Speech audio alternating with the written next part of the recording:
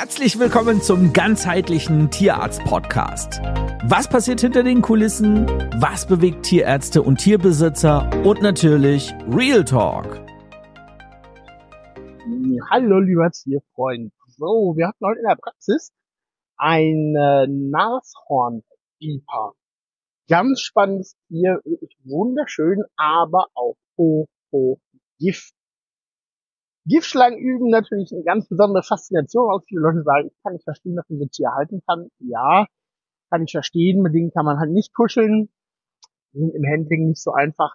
Und es ist auch so, dass wenn man was behandeln muss, das muss so wie bei einer Katze oder bei einem Meerschweinchen ist, auch es gibt ja einfach zweimal am Tag Augensalbe oder es gibt ja einmal am Tag Medikamente ein, die es dann doch mit entsprechenden Risiken behaftet ist.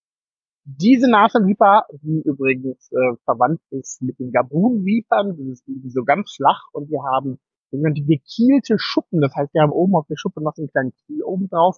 Wenn man da mit der flachen Hand drüber streicht, fühlt sich das an wie so ein Reibeisen. Aber es ist wirklich ein ganz, ganz tolles Gefühl.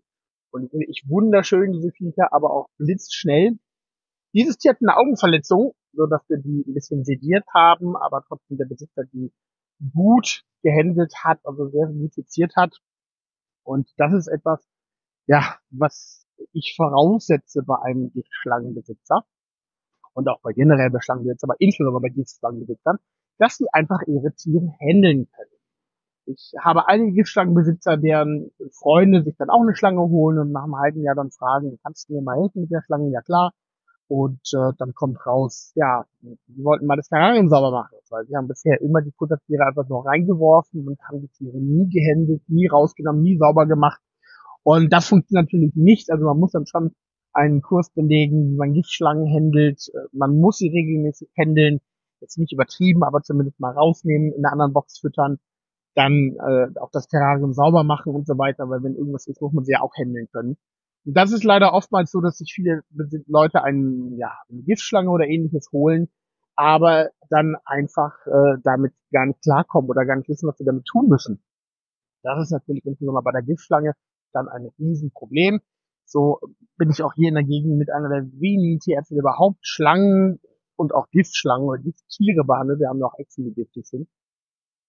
Ja, aber ich habe auch sehr hohe Ansprüche an meinen Patientenbesitzer, der dann entsprechend einfach auch das Tier handelt. Und wenn ich nicht sicher bin, dass ich mich da auf 100% verlassen kann, dass das einer ist, der wirklich das mit Hingabe macht, der wirklich ein hohes Pflicht und ja, Ordnungsbewusstsein in dem Moment hat, dann ist es einfach so, dass ich auch solche Patientenbesitzer ablehne. Ne?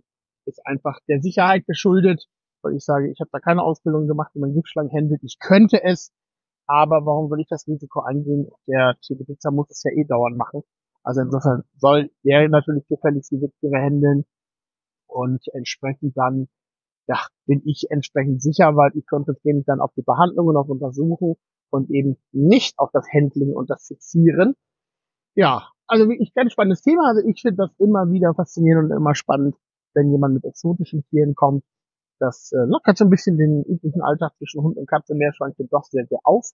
Aber wie gesagt, man muss halt ein anderes Augenmerk drauf haben, man muss halt etwas der Sorgfalt walten lassen und natürlich auch entsprechend Fortbildung in diesem Fachbereich machen, damit man halt auch in Reptilienkrankheiten auf dem Laufenden bleibt. Gerade Reptilienkrankheiten und Co.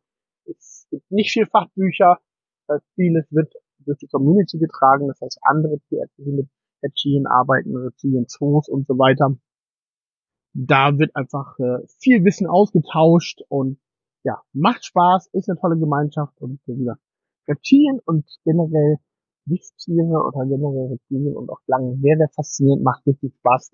Und äh, ja, geht ruhig mal in einen Reptilien zu, schaut euch das an. Und ich freue mich auf die nächste Folge, wenn ihr dabei seid. Und äh, ganz liebe Grüße und einen wunderschönen Tag, ihr Lieben. Herzlichen Dank, dass du bis jetzt dabei warst. Abonniere gleich den Podcast, damit du nichts mehr verpasst und danke dir für eine positive Bewertung hier bei iTunes. Weitere Infos, Einladungen zu Seminaren, Checklisten und vieles mehr findest du in den Show Notes. Und auf den nächsten Podcast musst du gar nicht lange warten, denn morgen geht's direkt weiter hier mit Henning Wills.